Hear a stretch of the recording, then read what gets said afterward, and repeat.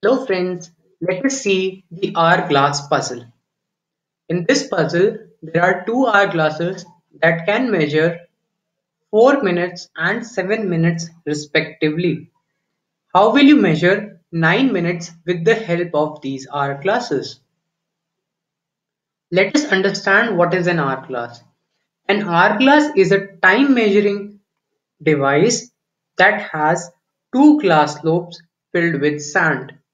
When the sand from one of the lobes trickles down completely to the bottom lobe, it is said to have measured a particular time.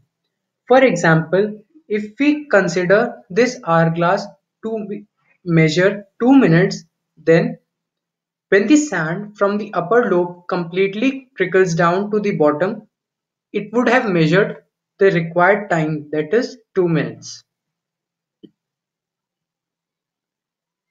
Let us start measuring the time with the help of hourglasses at the instant t is equals to 0 minutes.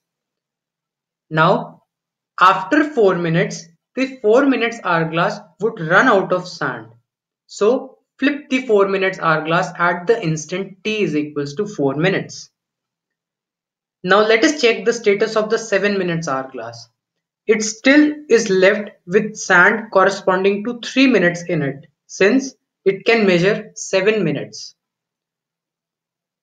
Now at time 7 minutes, the 7 minutes hourglass would completely run out of sand. So flip it again.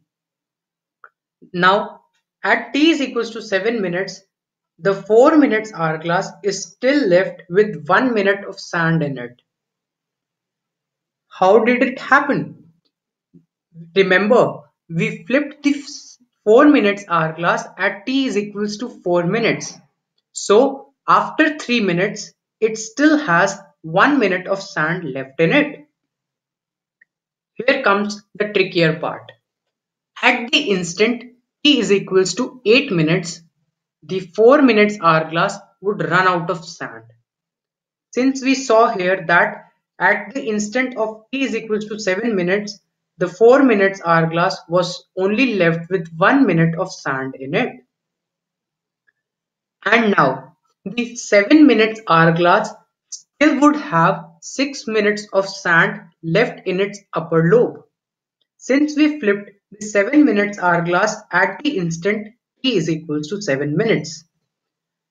So flip the 7 minutes hourglass again at this instant to measure the last 1 minute.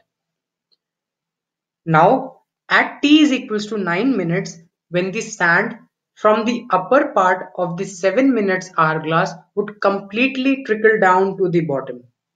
Since the 7 minutes hourglass had only 1 minute of sand left in it when we flipped this 7 minutes hourglass at the instant t is equals to 8 minutes.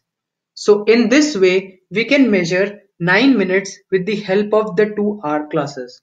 Stay tuned and keep watching.